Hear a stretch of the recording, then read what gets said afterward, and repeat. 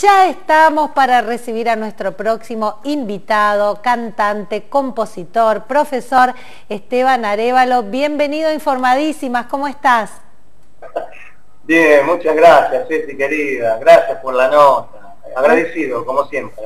Un placer. Les voy a pedir a los chicos que me suban un poquito el retorno de Esteban, así lo puedo escuchar bien. Bueno, estás allí desde tu estudio, desde donde brindás las clases de canto, que venir este, haciendo ya desde antes de la cuarentena. ¿Cuánto hace este, Esteban con estas clases como eh, profe? Eh, como profesor de canto estoy hace ya 11 años, sí, sí. Estamos trabajando, gracias a Dios, con, buena respuesta de, las personas que se animan a cantar, que pueden darse el lujo de, hacer esta pasión, ¿no? que en realidad nos gusta a todos, a todos, y bueno, compartiendo siempre, ya que esta época nos fue bastante, fue bastante difícil, pero bueno, le, estamos poniendo toda la onda y toda la, buena energía para empezar a recuperar la gente y de a poco con todos los protocolos que necesitamos, eh, bueno, avanzando, avanzando en, la, en esta linda esperanza de seguir cantando.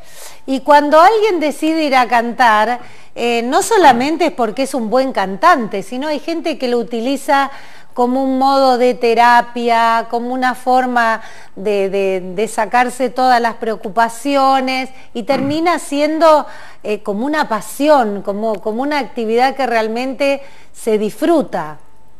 Totalmente. Bien, bien lo que decís, porque más allá de que a uno le guste cantar, mucha gente, y más en tiempos como hoy, que, donde estamos emocionalmente medio afectados y, psicológicamente, el canto puede llegar a ser un canal fundamental para que eh, eh, a través de la voz, a través de, ciertos mensajes, podamos fluir y encontrarnos en una armonía eh, placentera. Así que bienvenido sea la gente que viene de forma terapéutica y también la gente con ganas de aprender y construir eh, ese artista futuro, ¿no? Así que estamos trabajando con todo ese tipo de, personas. En eso que tenés vos, que es buscarle a cada uno que, encuentre su estilo, en encontrarle el color de la voz, eh, no, es no es solamente ir y cantar y ya. No, no, nada, nada, nada que ver.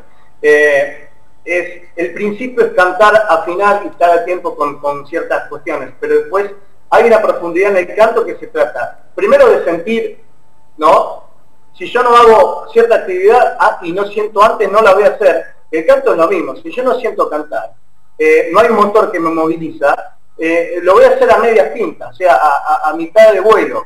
En cambio, si yo tengo esa posibilidad de sentir y apasionarme por el canto, realmente el producto final es buenísimo, porque va a fluir mi buena vocalidad, trabajada a través del ejercicio vocal y demás, pero también ese corazón dispuesto a sentir en cada canción. Entonces ese complemento, Ceci, es realmente es poderoso. Y quedarnos el, personaje, además, deberíamos estar eh, confiando en eso para poder resolver bien la canción y dejar algo más que creíble, ¿no? Vos sabés que arrancábamos el programa y cuando te anunciamos, este, alguien pedía música folclórica. Así que, bueno, cuando cerremos la nota, te voy a pedir, vos sos muy dúctil, cantás de todos los géneros, pero el, folclore también es algo que te apasiona, así que como estamos hablando y veo en el fondo una guitarrita, ya te voy anticipando que te vamos a pedir este, alguna chacarera, algo bien pum para arriba. Pero, bueno, pero antes de eso, Esteban, eh, muy felices y orgullosos de tener un tandilense, porque me he enterado que, bueno, de tantos años de dar clase, te han convocado para dar clases eh, con esta maravilla que a veces renegamos, nos enojamos, que es la tecnología, pero ha servido para que vos hoy, como profesional, como profesor de canto, estés dando clases a gente de Latinoamérica.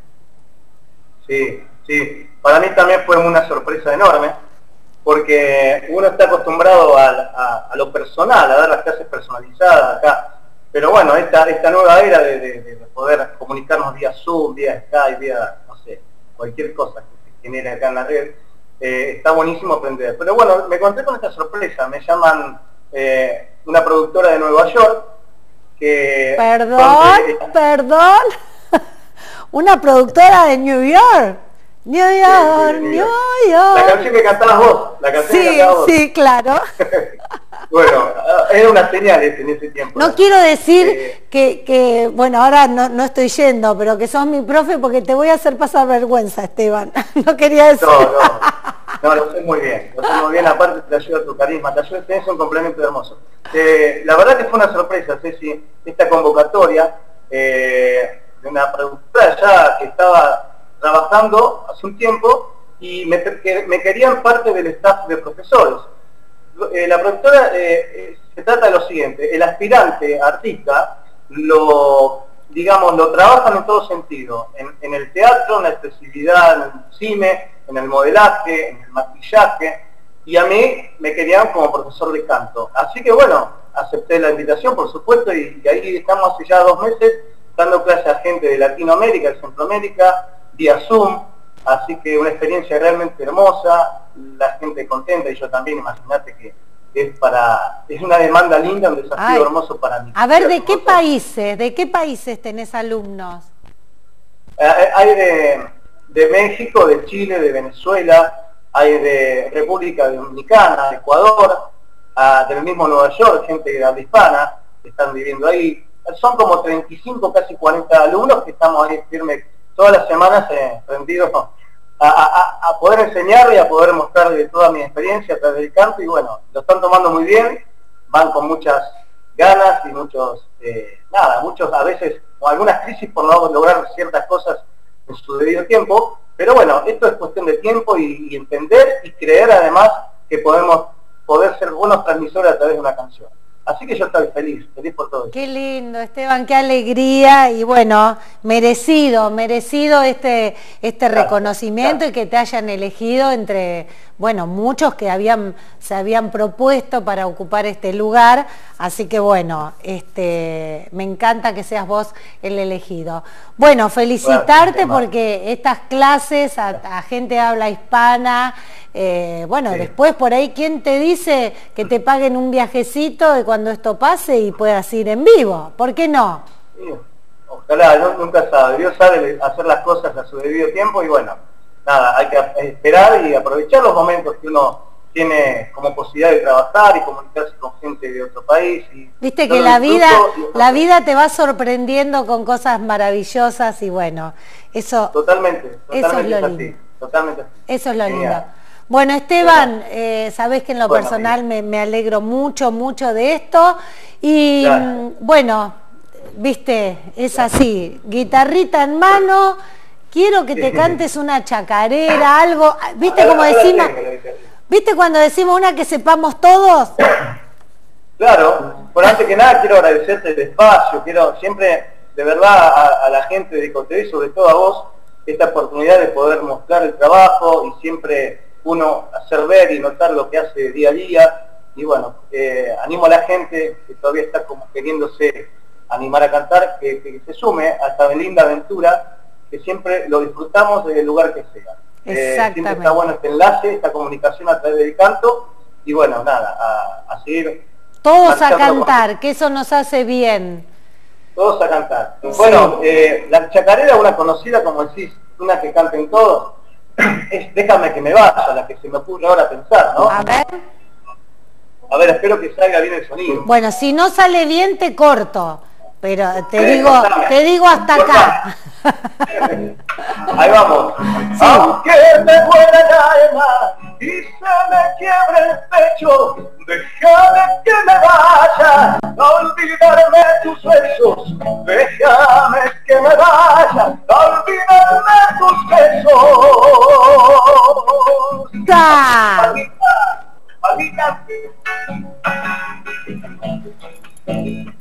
No